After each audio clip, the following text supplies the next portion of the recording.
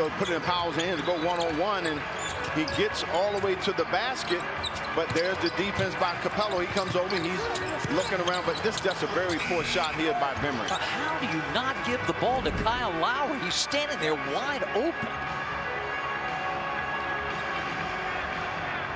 Atlanta ball. Kevin Huerter, the trigger man. Bounce into Trae. Five seconds. Trae driving. Trae looking. Gets rid of it. Tony Snell for the win. Good! He beats the buzzer. And the Hawks have the victory. 121 to 120. It looked like a busted play, but all of a sudden, Tony Snell ends up with the basketball and he gets mobbed by his teammates. Wins it at the buzzer with a three-pointer. How about that? Well, Toronto had no one to blame but themselves. The Hawks just kept fighting. Tony Snell with the game winner. And just his second field goal of the game. Trae found him open over the on-charging Stanley Johnson, and the Hawks come storming back to win the ball game. What a finish. Man. The hottest guy in the NBA outside the arc these days. And he drained it. Man, and you know, get, take your hats off to the Atlanta Hawks. They just kept fighting, kept coming, and they're going to get out of here with a win. And a big win indeed. Tony Snell is the hero, and he's standing by with Kelly. Wow, Tony, what a finish. Take us inside that final huddle and then how the play unfolded there in the last seven seconds, what you're thinking.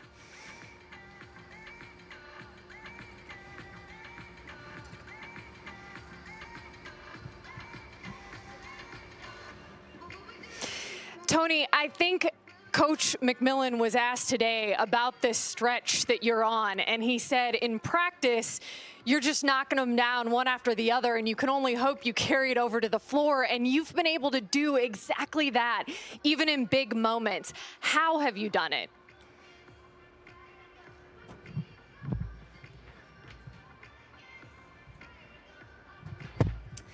A 24 to 8 run there to pull this victory off. What changed in the final six minutes of this game, Tony?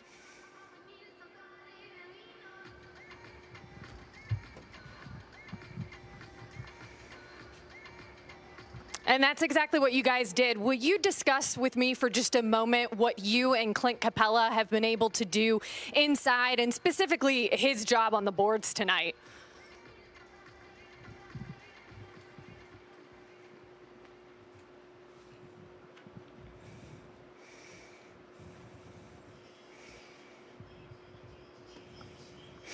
And last thing, Tony, when's the last time you've been mobbed by your teammates like that? And just describe how big this win was to kind of set the tone for the second half.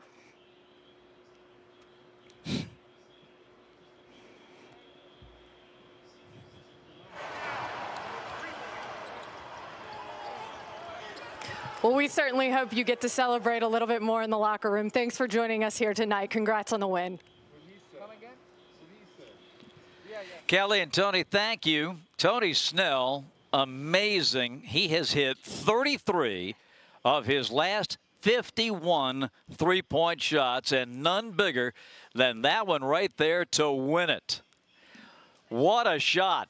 And as confident a stroke as you'll see, as he told Kelly, just find a lane for Trae to find you. Runs to the spot, nothing but net. We'll be back Saturday as the Hawks return to Atlanta to take on the Kings. Our coverage begins at 7 Eastern Time on Saturday.